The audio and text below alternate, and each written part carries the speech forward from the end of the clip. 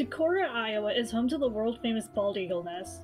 The nest sits high in the tree near the Decorah Trout Hatchery. There have been several eagles at this site since 2002. The most popular time of year to view the nest in person is once the eggs have hatched, usually at the end of March or the first part of April. You can view this nest 24 hours through a live stream camera. Lansing, Iowa is in the northeast corner of the state, near Bluff Country. You can make the drive up to Mount Hosmer and enjoy the view of the Mississippi River. It's pretty common to see an eagle soar across the river below. Oftentimes, the eagles hover near the lookout areas. There is no fee to visit Mount Hosmer, Effigy Mounds National Monument is in Allamakee County along with Lansing. This national monument is the state of Iowa's pride and joy. You can spend hours here hiking the trails that lead to more than 200 native mounds that date back hundreds of years. This national monument is located three miles north of Marquette, Iowa, on Highway 36, parallel to the Mississippi River, making it a great park for eagle watching in Iowa.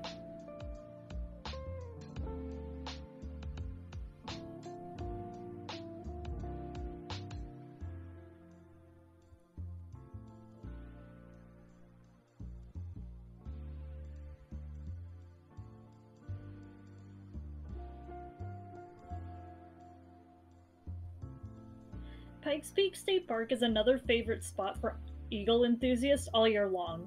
You can walk out to the lookout that overlooks the Mississippi River. Sometimes the eagles are pretty close, but other times they are pretty far away over above the Mississippi River.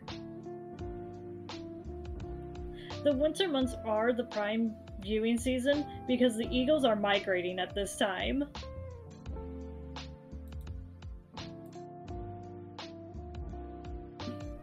Dubuque is situated along the Mississippi River, and according to the Iowa DNR, the area of Iowa's Lock and Dam number 11 is home to around 3,000 bald eagles during the winter months. As you drive this area from December through March, you will see several eagles soaring overhead above the upper Mississippi River. The bald eagles tend to fly out early in the day and often and sit on the open water for a few hours in the afternoon.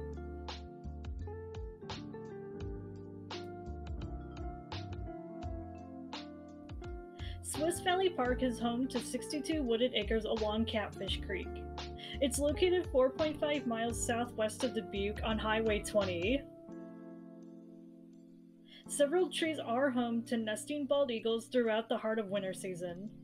Just make sure to look up when you enter the park, and there's a good chance that you'll see a bald eagle flying overhead. Catfish Creek is stocked with trout, making it a prime place for eagles to hang out for a meal. If you enjoy winter camping, you can camp here and experience outdoor winter experiences, including ice fishing and cross country skiing. The nest can be spotted as you look up and spot for bald eagles flying between the trees. This area will not disappoint you as you head out to look for bald eagles in winter.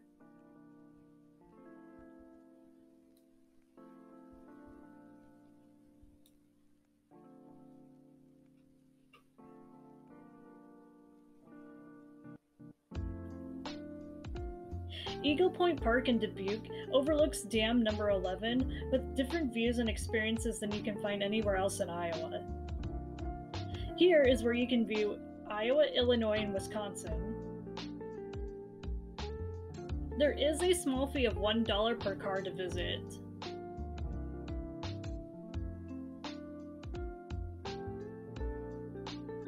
Early in the morning is a good time to see the bald eagles being active. It should also be noted that this park can get really icy during the winter months, so just be careful when you're walking on the paths. The Mississippi Riverwalk is where you can experience the Port of Dubuque all year long. The Riverwalk includes a temporary public art exhibition that changes every year. During the winter months, you can experience the art and the bald eagles. Winter is a more quieter time, yet the bald eagles fly around and entertain visitors all the time.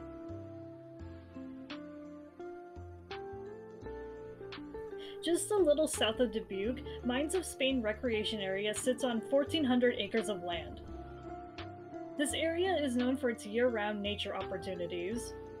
With a location that borders the Mississippi River, you might see flying squirrels, wild turkey, white-tailed deer, and of course, the bald eagles. Winter is the prime viewing season to see bald eagles here, but it's not uncommon to see them all year long.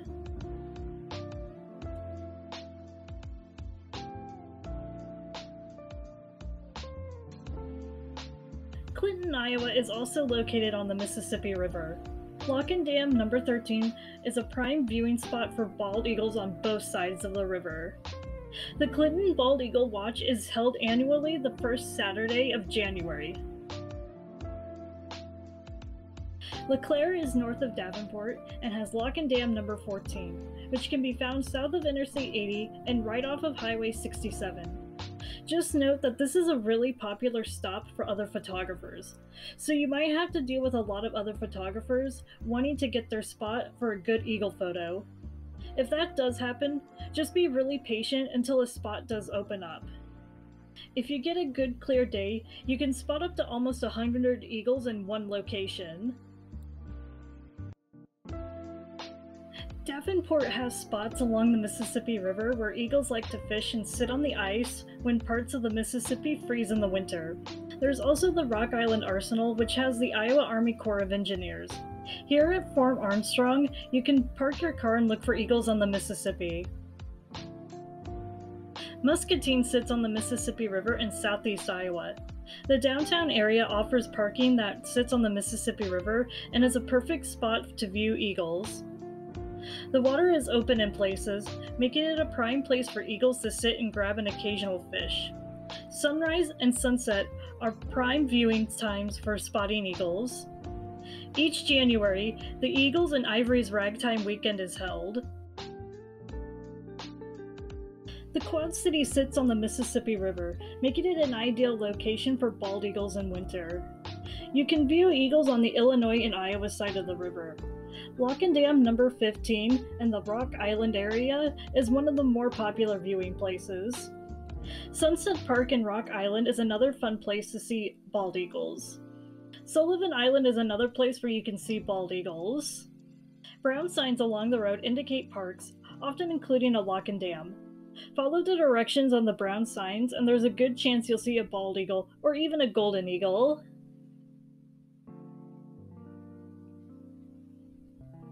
The downtown Des Moines area is home to numerous bald eagles during the winter months.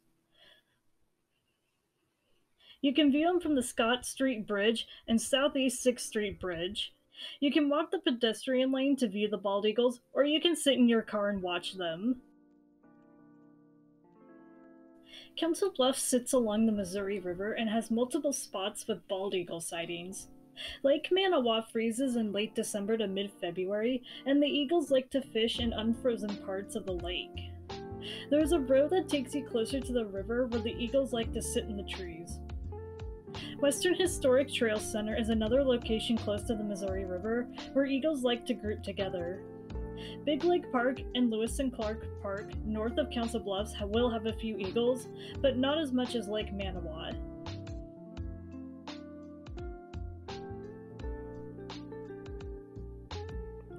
DeSoto National Wildlife Refuge is 25 miles north of Council Bluffs and also sits along the Missouri River in both Iowa and Nebraska. With over 8,000 acres, DeSoto has plenty of woodlands, wetlands, bottomland forests, and tall grass prairies.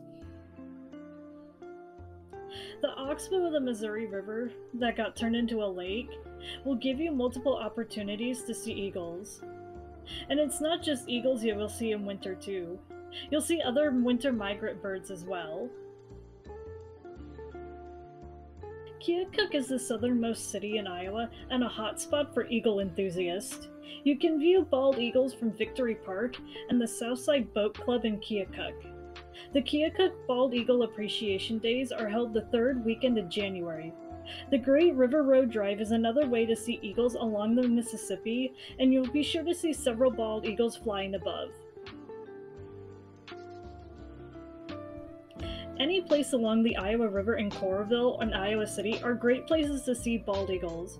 A majority can be found at Iowa River Landing. You can find them in the tall cottonwood trees behind the Coralville Marriott Hotel and Conference Center. Simply just take the paved path that runs behind the conference center, locate the Prairie Breeze bench sculpture, and look toward the Iowa River. You can't miss it. Okay, so I'm going to wrap this video up. Um, if you think that I missed any other cities or towns in Iowa for bald eagle viewing, uh, just let me know in the comments down below and I'll get back to you. And with that being said, I will see you guys in the next video. See ya!